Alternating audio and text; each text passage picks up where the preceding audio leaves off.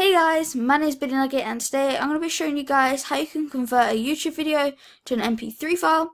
So before I head into this video, I'm just got to say, you guys may know this or should know this, that you just can't convert any YouTube video and put it in one of your videos because you are going to get copyrighted.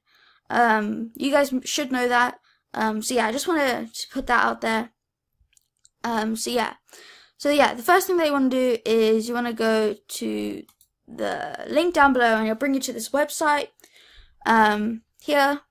And um, yeah so that that's the first thing step you have to do. Second step is you want to find the video that you want to convert. So a sound effect or something alike.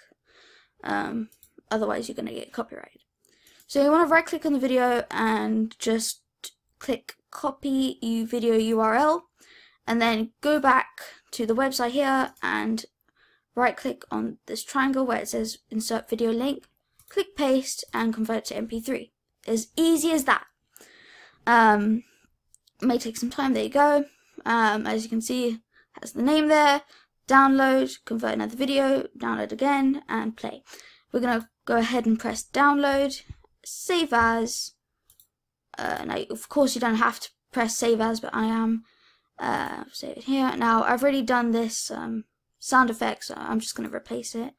Um, it was in one of my previous videos. Um, and that's how you do it. So, uh, yeah, guys, hope you guys did enjoy this short little video.